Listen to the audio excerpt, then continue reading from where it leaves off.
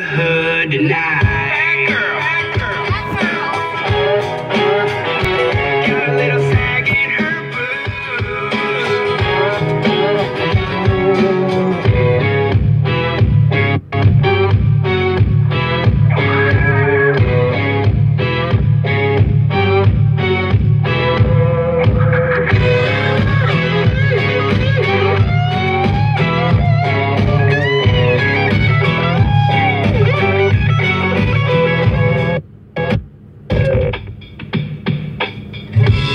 Just kept bitching, so we had to get to hitching. I can pick you up if you ask me, but I can't cause you're so fucking heavy. Might have a little sag